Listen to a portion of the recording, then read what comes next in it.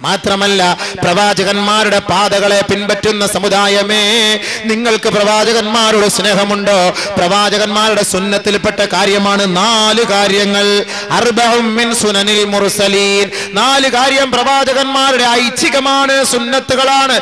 ഒന്നാമത്തത് അൽ ഹയാ. ലജ്ജ. പ്രവാചകന്മാരുടെ സുന്നത്ത് പ്രവാചകന്മാരുടെ സ്വഭാവത്തിൽപ്പെട്ടതാണ് ലജ്ജ. ലജ്ജ ഇല്ലാത്തവൻ പ്രവാചകന്മാരുടെ പരമ്പരയിൽ പെട്ടവനുമല്ല ഈമാൻ ഇല്ലാത്തവരുമാണ് സഹോദരിമാരെ നിങ്ങൾക്കും സഹോദരന്മാരെ നിങ്ങൾക്കും. സഹോദരിമാരുടെ ലജ്ജയുടെ അർത്ഥം പറയുമ്പോൾ എന്താ പറയാ എങ്ങനെ ഒരുപാട് പറയാനുണ്ട്. അന്യ പുരുഷന്മാരുടെ ഇടയിൽ കൂടെ കയറിയെന്ന് തലയിൽ തട്ടവിട്ട് ഫുൾ കൈ വിട്ട് പട്ടുറുമാൽ ആടാൻ വേണ്ടി മുസ്ലിം സമുദായത്തിലെ സഹോദരിമാര് തയ്യാറാകുമ്പോ മനസ്സിലാക്കിക്കോ നിനക്ക് ലജ്ജയില്ല എന്നുള്ളത്. നിന്നെ ആര് കെട്ടിക്കൊണ്ട് പോകുന്നോ മനസ്സിലാക്കിക്കോ അടുത്തവനുമായി അവൾക്ക് തീർച്ച ബന്ധമുണ്ടായിരിക്കും. ആ ഇത്രയും പുരുഷന്മാരുടെ മുന്നിൽ ഇരുന്ന് പാടാനും കൊഞ്ചാനും കൈയടിക്കാനും ഒക്കെ തയ്യാറാകുമ്പോൾ അവൾ മനസ്സിൽ അവൻ മനസ്സിലാക്കിക്കോ അവൾക്ക് ലജ്ജയില്ലാത്തവളാണ്. അൽ ലജ്ജ ഈമാന്റെ ഭാഗമാണ്. ലജ്ജ ഈമാന്റെ ഭാഗമാണ്.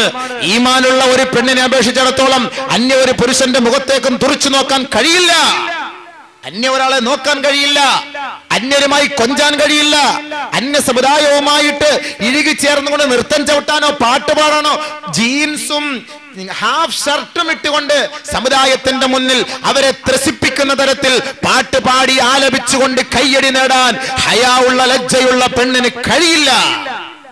മനസ്സിലാക്കിക്കോ? അങ്ങനെ സംഭവിച്ചാൽ ഈമാനില്ലാത്തതിന്റെ കുറവാണ്. ഈമാനുള്ള ഒരു പെണ്ണും ഇങ്ങനെ ജനങ്ങളെ ത്രസിപ്പിക്കാൻ വേണ്ടി ആട്ടവും ചാട്ടത്തിനും നൃത്തത്തിനും വേണ്ടി പോവുകയില്ല.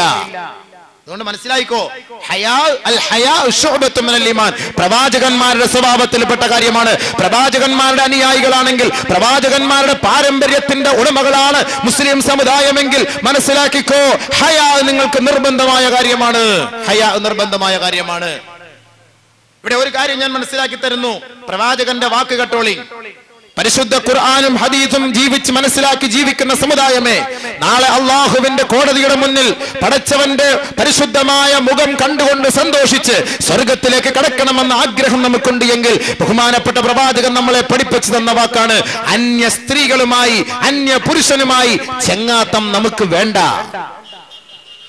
ഏതെങ്കിലും ഒരു ചെറുപ്പക്കാരൻ അന്യ പെണ്ണുമായി ചേർന്ന് മുട്ടിയുരുമി യാത്ര ചെയ്യുകയോ സഞ്ചരിക്കുകയോ കൊഞ്ചുകയോ ഒക്കെ ചെയ്താൽ നബി സല്ലല്ലാഹു അലൈഹി വസല്ലം തങ്ങൾ അവരെ കുറിച്ച് പറഞ്ഞ എന്താ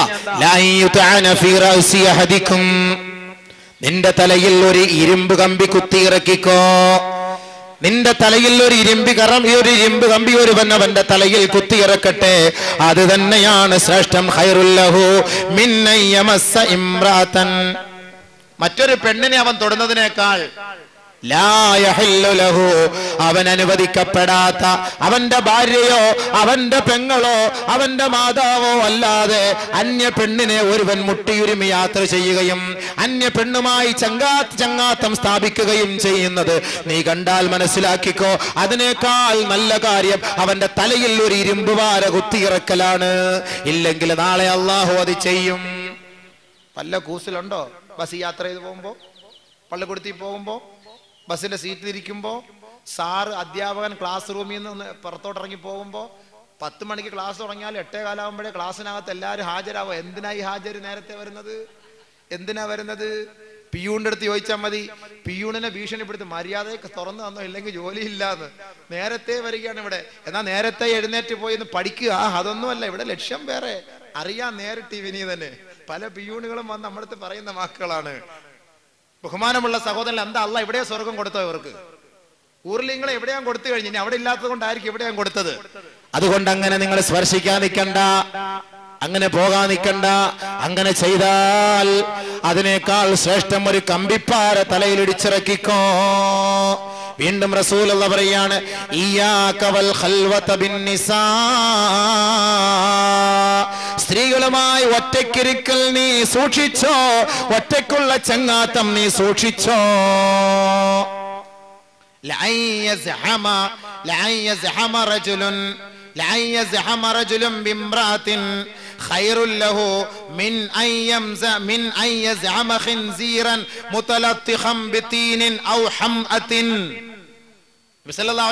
തങ്ങൾ പറയുകയാണ് നിങ്ങൾ ഒരു സ്ത്രീയുമായി അന്യ പെണ്ണുമായി ഒറ്റയ്ക്കിരിക്കുന്നത് സൂക്ഷിച്ചോ?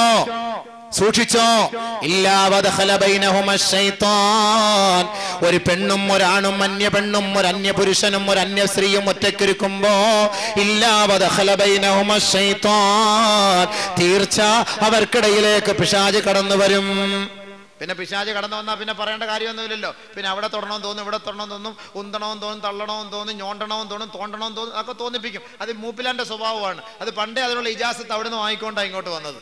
അതുകൊണ്ട് അങ്ങനെ ഒറ്റയ്ക്ക് ഇരിക്കല്ലേ ഒറ്റയ്ക്ക് ഇരുന്നാൽ ചിലപ്പോൾ സംഭവിച്ചു പോകും. ഒറ്റയ്ക്ക് ഇരിക്കാതിരുന്നാൽ പ്രശ്നമില്ല. അലൈഹി വസല്ലമ തങ്ങൾ പറഞ്ഞു ഇത് നീ അനുസരിക്കാതെ എങ്ങാനും ഒരു പെണ്ണുമായി ഒറ്റക്കിരുന്നാൽ അതിനേക്കാൾ ശ്രേഷ്ഠമാണ് സഹോദര അതിനേക്കാൾ ശ്രേഷ്ഠമാണ് സഹോദര.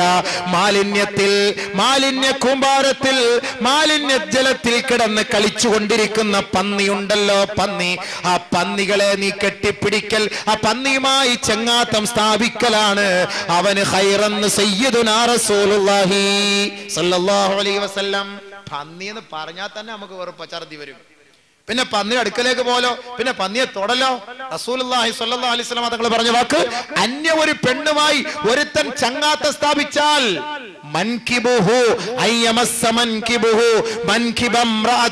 ഒരു പെണ്ണിന്റെ തോളും ഇവന്റെ തോളും കൂടെ ചേർത്ത് വെച്ച് അവൻ നടക്കുകയോ സഞ്ചരിക്കുകയോ ചങ്ങാത്തം പറയുകയോ ചെയ്താൽ മുതലത്തിഖം അഴുക്ക് ചാലിൽ കിടന്ന് കുളിച്ചുകൊണ്ടിരിക്കുന്ന പന്നിയുടെ കൂട്ടത്തിൽ പോയി അതിനെ കയറി ചേർന്ന് പിടിക്കലാണ് ഇവന് നല്ലത് എന്ന് വസല്ലം തങ്ങൾ പറഞ്ഞു. അപ്പൊ മനസ്സിലായല്ലോ? ഏകദേശമൊക്കെ മനസ്സിലായല്ലോ? ഇനി നാളെ എങ്കിലും ബസ്സിൽ പോകുമ്പോൾ ശ്രദ്ധിച്ചോളി. അള്ളാഹു താല കാര്യം മനസ്സിലാക്കാൻ തോഫീഖ് നൽകുമാറാകട്ടെ. അപ്പൊ അറിയാതെ നമ്മളൊക്കെ ചെയ്തു പോയെങ്കിൽ തൗബ ചെയ്തോ? അറിയാതെ ചെയ്തു പോയെങ്കിൽ തൗബ ചെയ്യുക. ബഹുമാനമുള്ള സഹോദരങ്ങളെ അതുകൊണ്ട് ഹയ ഇല്ലാത്തവനാണ് ഇതൊക്കെ ചെയ്യുന്നത്. ഹയാ അത്യന്താപേക്ഷിതമാണ്. ഹയ ഉണ്ടെങ്കിൽ ഇങ്ങനെയൊക്കെ ചെയ്യുവോ? എങ്ങനെങ്കിലും ബൈ ചാൻസിൽ പിടിച്ചു. ആരെങ്കിലും കണ്ടു. അത്രയും പേരുടെ മുന്നിലിട്ട് ജനങ്ങൾ ഇവനെ അടിക്കുമ്പോ ഒന്ന് ആലോചിച്ച് ചോദിക്കണം ലജ്ജ ഉണ്ടെങ്കിൽ ചെയ്യുമോ? അതുകൊണ്ട് ഹയാ പ്രവാചകന്മാരുടെ പാരമ്പര്യമാണ് അവരുടെ സ്വഭാവമാണ്. സുനനിൽ മുർസലീൻ. നാല് കാര്യം പ്രവാചകന്മാരുടെ സ്വഭാവ വിശേഷണങ്ങളിൽ പെട്ടതാണ്. ഒന്ന് അൽ ഹയാ. മറ്റൊരു റിവായത്തിൽ അൽ ഹന്ന എന്ന് വരുന്നുണ്ട്. മൈലാഞ്ചി പുരട്ടുക. മൈലാഞ്ചി പുരട്ടൽ. അത് സുന്നത്താണ്. നരച്ച താടിയൊക്കെ മൈലാഞ്ചി പുരട്ട്. നിങ്ങൾ നരച്ച താടിയൊക്കെ ഡൈ ചെയ്യാതെ. നരച്ച താടി ഡൈ ചെയ്യാതെ. മൈലാഞ്ചി പുരട്ട് സുന്നത്താണ്. സഹോദരിമാരെ കൂട്ടെക്സ് പുരട്ടാതെ നിങ്ങൾ മൈലാഞ്ചി പുരട്ട് അത് സുന്നത്താണ്. അതും പ്രവാചകന്മാരുടെ സ്വഭാവത്തിൽപ്പെട്ട കാര്യമാണ്. രണ്ടാമത് സിവാക് പല്ല് തേക്കൽ മിസ്വാക്ക് ചെയ്യൽ പ്രവാചകന്മാരുടെ സുന്നത്തിൽപ്പെട്ട കാര്യമാണ്. പല്ല് അത് ആര് പഠിപ്പിക്കണം? പക്ഷെ എന്റെ പ്രവാചകൻ എന്റെ പ്രവാചകൻ ചെയ്തതാണ്. പ്രവാചകന്മാര് ചെയ്തതാണ്. എന്ന ഒരു ഈമാനോടെ വിശ്വാസത്തോടെ നീ പല്ല് തേച്ചാൽ തീർച്ച നിനക്കതിന് കൂലിയാണ് കൂലിയാണ്. പ്രവാചകന്റെ പ്രവാചകന്മാരുടെ ശഫാഅത്തിന് നീ അർഹനാണ്. അതുകൊണ്ട് ഒതുവെടുക്കുമ്പോ ഒന്നൊന്ന് പല്ല് തെച്ചോളി. ഒരു സുന്നത്തായ കാര്യമാണ്. ചിലർ കൈകൊണ്ട് കൊട്ടിച്ചേക്കുക അതിനേക്കാൾ നല്ലത് നിങ്ങൾ അതിനുള്ള അറാക്ക് അല്ലെങ്കിൽ അതുപോലുള്ള കമ്പുകളും കാര്യങ്ങളൊക്കെ ഉണ്ട്. അതൊക്കെ വെച്ചൊരു പല്ല് തെച്ചു. ഒരു സുന്നത്ത് കളയുന്നതിന് നബി സല്ലല്ലാഹു അലൈഹി വസല്ലമ തങ്ങൾക്ക് ഫറലാണ് നമുക്കത് സുന്നത്താണ്. അതുകൊണ്ട് ആ സുന്നത്ത് ഹയാത്താക്കി. അത് പ്രവാചകന്മാരുടെ സുന്നത്താണ്. നമ്മൾ നേരം വെളുക്കുമ്പോൾ പല്ല് വയ്ക്കും ചില പെണ്ണുങ്ങൾ ഒരു ദിവസം അഞ്ചു പ്രാവശ്യം പല്ല് വയ്ക്കും രാത്രി കിടക്കാൻ നേരത്തും പല്ല് വയ്ക്കും നേരം വെളുത്ത് എഴുന്നേൽക്കുമ്പോഴും പല്ല് വയ്ക്കും ചായ കുടിച്ചാൽ ബിസ്ക്കറ്റ് തിന്നാലും ഒക്കെ പല്ല് വയ്ക്കും പ്രവാചകന്റെ സുന്നത്താണെന്ന നീയത്തിൽ മോളെ നീ അങ്ങനെ ചെയ്യണേ. എങ്കിൽ സുന്നത്തിന്റെ കൂലി നിനക്ക് കിട്ടും. മൂന്നാമത് അത്തഅത്തുർ തഅത്തുർ അത്ര പൂശ അത്രൊന്നും ഒന്ന് പൂശൂല. അത്രൊന്നും പൂശൂല. പാശ്ചാത്യന്മാര് ആൽക്കോഹോൾ കയറ്റി വിട്ട സാധനങ്ങൾ കൊണ്ടുവന്നിട്ടാ കിഷ് കിഷ് കിഷ് കിഷാന്നിങ്ങനെ അടിച്ചിട്ട് പള്ളിയിൽ പോവുക. അത്ര പൂശുകാർ. തങ്ങളുടെ ഹദീസിൽ കാണാം. നബി തങ്ങൾ വീട്ടിന് വേണ്ടി എത്ര പൈസ ചെലവ് ചെയ്യുമോ അത്രയും പൈസ അത്ര വാങ്ങിക്കുന്നതിന് വേണ്ടി ചെലവ് ചെയ്യും. അതാണ് അത്ര നല്ല പൂഷണം ചില അത്ര നല്ല പൂഷണം വില കുറഞ്ഞ ആൾക്കാർ വായിക്കും പതിനഞ്ച് രൂപയ്ക്ക് കിട്ടും. മയ്യത്തിന് വേണ്ടി പുരട്ടുന്നതാ. ലാസ്റ്റ് ഘട്ടത്തിൽ വാപ്പാക്ക് കൊടുക്കുന്ന സമ്മാനം എന്താ? വാപ്പാടെ മയ്യത്ത് പൊതിയുമ്പോ ഹത്തർ. ഒരു കടയിൽ പോയി ഏറ്റവും കുറഞ്ഞ അത്ര ഏതാ ആ പതിനഞ്ച് രൂപയുടെ. ആ അതിൽ ഒരു ഡസ് ഇങ്ങട്. എല്ലാം കൂടെ കൊണ്ട് പൊട്ടിച്ച് വാപ്പാടെ മണ്ടയിലോട്ട്. എന്തായാലും അവസാനം പോവല്ലോ പതിനഞ്ച് രൂപയുടെ എങ്കിലും വാപ്പായ്ക്ക് ഒരു സഹായം ചെയ്തില്ലെങ്കിൽ പിന്നെന്താ? ബഹുമാനമുള്ളവരെ അറബികൾ പരിശുദ്ധമായ കാബ ഷരീഫിന്റെ ഹജറുൽ അസ്വദ് ആ കില്ല അതിന്റെ മൂടുപടം അവിടെയൊക്കെ പുരട്ടാൻ വേണ്ടി തേക്കാൻ വേണ്ടി നൂറ് കണക്കിന് റിയാലുകൾ വിലയുള്ള കുറച്ച് ഒരു മില്ലിക്ക് ഒരു മില്ലിക്കൊക്കെ നൂറും ഇരുന്നൂറും അഞ്ഞൂറ് റിയാലുകൾ വിലയുള്ള ഊത് ഏറ്റവും വില കൂടിയ അത്തറാണ് വാങ്ങിക്കൊണ്ട് പുരട്ടുന്നത്. ലക്ഷക്കണക്കിന് പാവികൾ വന്ന് ഹജറുള്ള സ്വത് മുത്തുമ്പോൾ എത്രയോ പേര് ചൂട് കൊണ്ട് സഹിക്ക വയ്യാതെ ആ ചൂടത്ത് വിയർത്ത് ഒലിച്ച് ആ ഹജറുള്ള സ്വത് മുത്തുമ്പോൾ വിയർപ്പിന്റെ ദുർഗന്ധം നമുക്ക് വമിക്കും. ആ വിയർപ്പിന്റെ ദുർഗന്ധം നമുക്ക് ആസ്വദിക്കാൻ കഴിയും. നമുക്ക് ദുർഗന്ധം നമുക്ക് അസഹ്യമായി തോന്നും. പക്ഷേ ആ അസഹ്യതകളെയെല്ലാം തള്ളിക്കൊണ്ട് ഊതിന്റെ സുഗന്ധം നമുക്ക് ആസ്വദിക്കാൻ കഴിയും.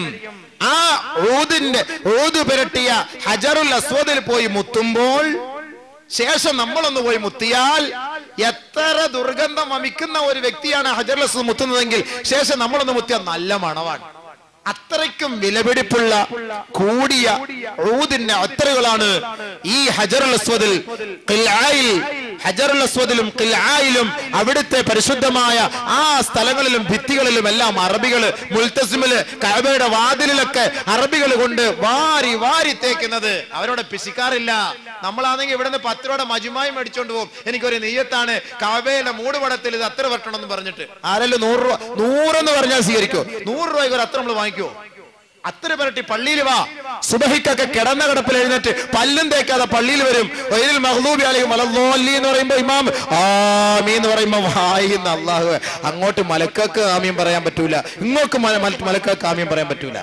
അതുകൊണ്ടാ പള്ളിയിൽ വരുമ്പം പല്ല് വെച്ചിട്ട് വരണം എന്ന് പറയണത്. ബീഡി വലിക്കൽ എത്ര സഹോദരന്മാർ? ബീഡി വലിക്കുന്ന സുഹൃത്തുക്കളെ ഉമ്മു സൽമ റളിയല്ലാഹു അൻഹ റിപ്പോർട്ട് അൻഹ റിപ്പോർട്ട് ചെയ്യുന്ന ഹദീസിൽ കാണാം.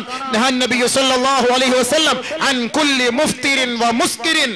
എല്ലാ ബലഹീന ഉണ്ടാക്കുന്നതും ശരീരത്തിന് ബലഹീനത ഉണ്ടാക്കുകയും അതേപോലെ ശരീരത്തെ നശിപ്പിക്കുകയും അതേപോലെ ലഹരി ഉണ്ടാക്കുന്നതുമായ സകലമാന വസ്തുക്കളും നബി സല്ലല്ലാഹു അലൈഹി വസല്ലം തങ്ങൾ നിരോധിച്ചിരിക്കുന്നു എന്ന് ഉമ്മു സൽമ റളിയല്ലാഹു അൻഹ പറയുന്ന അടിസ്ഥാനത്തിൽ ബഹുമാനമുള്ളവരെ പരിശുദ്ധ ഖുർആനിലും നാശത്തിലേക്ക് നിങ്ങളുടെ കൈകൾ കൊണ്ടിടല്ലേ എന്ന് പറഞ്ഞ ഖുർആനിന്റെ അടിസ്ഥാനത്തിലും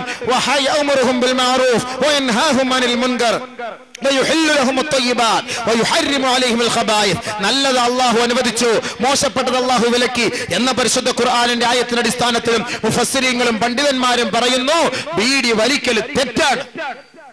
തെറ്റാണ്. ഈ ബീഡി വലിച്ചു പള്ളിയിൽ വരുന്ന സഹോദരൻ ആമീൻ എന്ന് പറഞ്ഞ് വായൊന്ന് തുറന്ന എന്തായിരിക്കും അവസ്ഥ? അപ്പൊ അതുകൊണ്ട് നിങ്ങൾ വലിച്ച സഹോദരങ്ങളെ പല്ല് നല്ല പോലെ തേച്ചിട്ട് വരണേ.